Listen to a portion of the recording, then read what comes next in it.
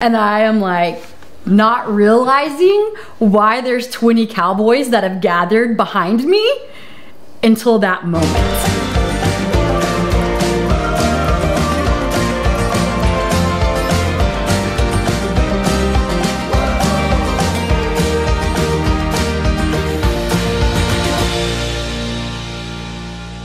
They had purchased new costumes for us to trick ride in.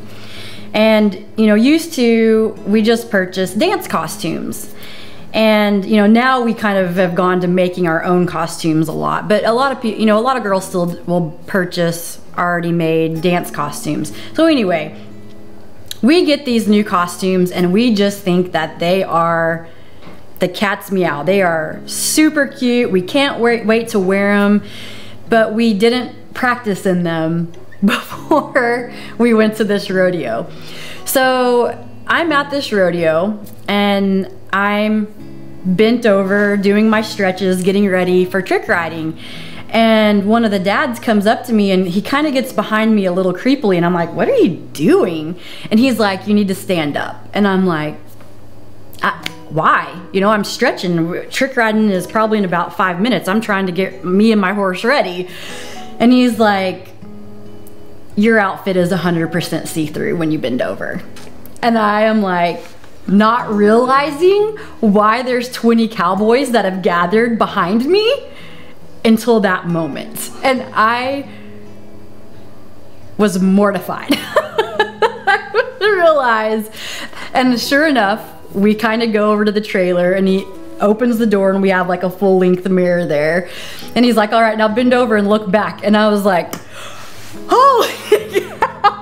It is like, it is see-through. But at this point, we don't have time to change our outfits.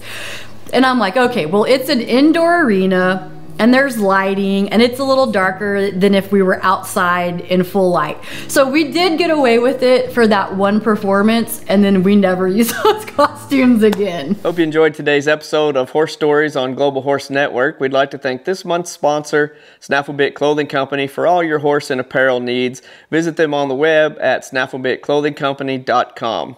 If you like what we're doing or you don't, make sure that you put it in the comments below because there's nothing I like better than to aggravate somebody like a sandburr under your saddle pad.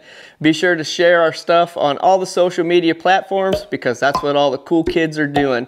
Be sure to subscribe if you like what we're doing. If you want to be notified whenever we're posting new content and some kick stuff, click on the notification bell. If you like what we're doing, click the like button. If you hate what we're doing, click that bad boy twice because there's nothing that I enjoy more than a good hater. And as always, ride hard, be safe, and have fun.